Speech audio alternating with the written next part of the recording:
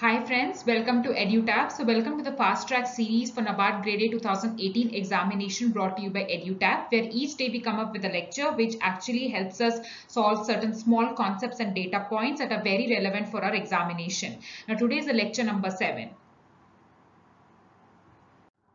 So here we know that the NABARD grade admit cards are out, so kindly download them. The prelim shall be held on 19th of May 2018 and NABARD has changed the mains examination date and it shall be held on 17th of June 2018. So currently EduTap is providing a comprehensive course for NABARD grade A 2018 and you can buy the course at a discounted price of rupees 5000. We also provide a NABARD Phase 1 plus Phase 2 Current Affairs Punch course and this particular course is a consolidated course where you can find all the current affairs which are relevant for this particular examination. Now this course of ours can be brought for rupees 3000. And recently we have also launched a test series that is NABARD Grade A 2018 test series for phase 1 and phase 2 wherein you can get to solve nearly 5000 to 6000 questions. And this particular course can be bought for rupees 1500. Now if you want to know more about our courses you can visit our website www.edutap.co.in. You can drop us a mail at hello at edutap.co.in or you can also give us a call at 814 620 7241. So what are we going to have a look at today? So we shall be seeing uh, some of the important terms and data points of the soil science chapter. So as part of our 5 MCQs a day series, there were a lot of comments that we had received regarding the soil science chapter and that's why we thought we can dedicate one or two lectures for it. Yesterday also the lecture was dedicated to soil science chapter and today again we shall see some of the important points uh, from this chapter. So basically here we are having a look at two terms that is pedon and polypedon okay? So basically when you say pedon it is the smallest volume that can be called a soil. Okay? So basically you can see here in the picture that these are very small units of soil. And this is the smallest thing. And uh, below this if you have a unit we cannot call it as soil okay so basically they are large enough to show us all the soil horizons which are present and their relationships. So here you can see if i take this bit i can see the layers the horizons yesterday we had a detailed discussion uh, regarding the various soil horizons uh, so now you can see here that when I take this particular unit, I call it as pedon and I can see the layers in it okay? Uh, now if you move on to polypedon this is nothing but when you arrange all these pedons in a contiguous manner. Okay? And they need to have similar characteristics. Then you call it as polypedon. You can see here that all these things club together here. You can see that you have formed a body and that is polypedon right? Again just let us have a look and read at uh, the definition. So it is defined as a contiguous similar pedons that are bounded on all sides okay by not soil or by pedons of unlike characters so we are not referring to those who are having unlike characters but they need to have like characteristics okay?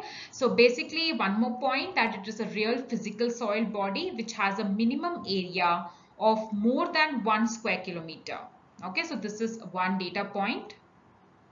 Now, based on these polypedons, uh, we can actually classify soils, right? So, uh, when we say classification, we are referring to various characteristics it has, like maybe, you know, uh, the texture of it and uh, what kind of plants can be grown there. So, all these classification can be done based on the various polypedons. Now moving on, there's one another term that's called regolith, right? So basically there's a soil, eh, soil formation process that usually takes place and there are two stages in it, okay, which are consecutive stages. First, if you see, there's a weathering of rock that takes place. And when you have this process of weathering of rock, you would get an intermediate product before formation of true soil and that is referred to as regolith.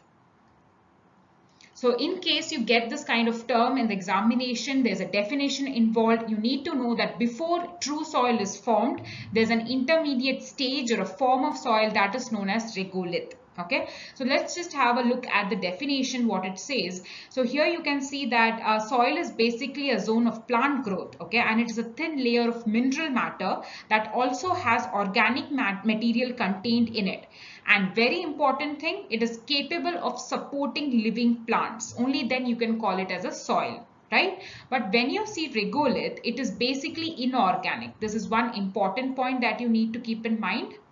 So when the rocks are weathered or the weathering of rocks takes place, this kind of regolith is formed, which is nothing but a blanket over unfragmented rock. It is typically made up of material that is weathered away from underlying rock. Okay. So for example, you have rock here, then you would not get true soil directly. You would get regolith.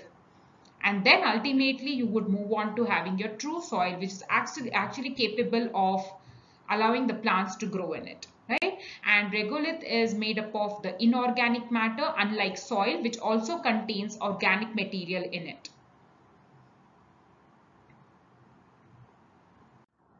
Now, uh, there are certain important points that you need to note for your examination. Here you can see the major components of soil. Okay, so mineral is forms 45% of it. Your organic matter forms 5%. Okay, and then airspace 25% and water 25%. So majorly it is constituted of mineral matter and because this is uh, due to the parent of soil which is the rocks only after the weathering of rocks you get the soil component. Okay? So kindly memorize this chart out here. Next moving on to an important classification of the soil particle size uh, this classification that we are seeing here is uh, given by the International Society of Soil Science, ISSS, right?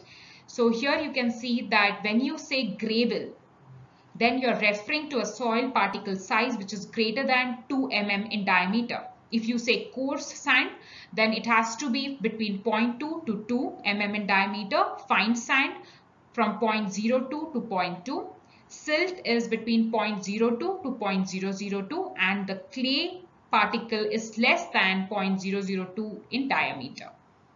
And this all the measurements are in mm, okay, millimeter. Kindly pause the video and make sure that you know these measurements. Okay, the last one today. So we are going to refer to textural classes out here. So when do you, uh, what do you mean by texture of a soil? Okay. So basically we know that the soil is made up of many particles in it, right? And we have just seen that uh, based on the size of those particles, they can be called silt, they can be called clay, right? So what happens is the size of the particle varies, uh, small, medium, big, right? So based on the relative proportions, like for example, a particular uh, patch of soil may contain all the bigger particles okay? And maybe a patch of soil may contain um, uh, may contain equal proportions of all the particles right? Maybe uh, a kind of soil may contain 80% of smaller particles and 20% of bigger particles. So basically the relative proportion of all these uh, various sized particles give us the texture of a particular soil. Okay? And uh, the classes are like sandy soil it contains more than 85% of sand. That means the particles which are bigger, right? We have just seen the size of it. If you say silt soil, then it contains more than 80% of silt. If you say clay soil, then you uh, they have more than 40% of clay. Okay, and so these are some of the important classifications and you can have roughly uh, keep it in your mind.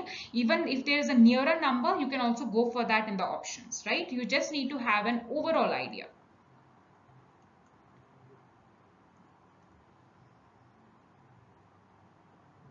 So friends, with this we have come to the end of this lecture today. So if you found this video useful, kindly like, subscribe and share. And the PDF format of this particular video can be accessed from EduTap's Telegram channel and the link for the channel is placed on your screens. Till then friends, thank you so much and happy learning.